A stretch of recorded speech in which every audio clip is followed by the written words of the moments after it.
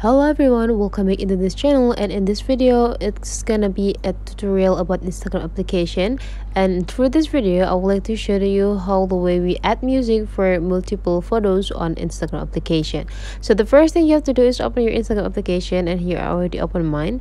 And for the next thing we need to create the content. So to create the content or post you just need to go click this plus and that will be generate you into the collections of photos and video into your library. And after that to choose the multiple photos you just need to go click this part. And after that you just need to choose uh, the picture that you want to use or the photos that you want to upload. And whenever you're done you just need to go click next you can also adjusting uh, the position of the picture that you want by go back and you can just adjusting it by click um, the pictures that you choose and after that you just need to drag it in with your finger.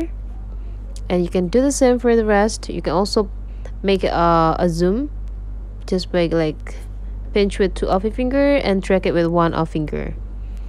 So you just need to do the same to adjusting everything's on your photo and after that you just need to go click next.